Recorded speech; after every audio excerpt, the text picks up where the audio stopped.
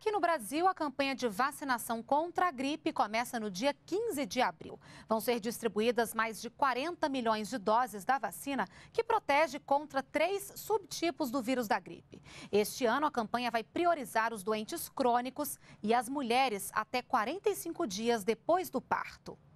A meta do Ministério da Saúde é vacinar 31 milhões e 300 mil pessoas em todo o país, o que equivale a 80% do público-alvo. São crianças de seis meses a dois anos, gestantes, idosos, trabalhadores da saúde, população indígena e carcerária.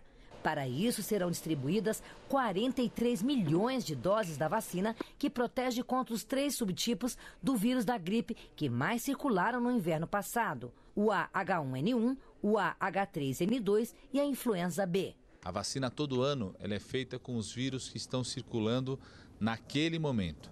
E se vacinar de 15 a 26 de abril, é o melhor momento para estar protegido quando começa o inverno no nosso país. A novidade na campanha deste ano é priorizar também a vacinação de portadores de doenças crônicas, como pulmonares, renais e obesidade mórbida, e ainda mulheres até 45 dias depois do parto. Para esse público, o acesso será ampliado em toda a rede pública. É só procurar a unidade de saúde mais próxima da sua casa, com a receita do médico ou com a informação do próprio coordenador do serviço que a vacina estará disponível para você, independente da sua idade. E para alcançar a meta de vacinação, o Ministério da Saúde vai estimular estados e municípios a promoverem a busca ativa. Os técnicos de saúde devem ir de casa em casa fazendo o apelo para a vacinação.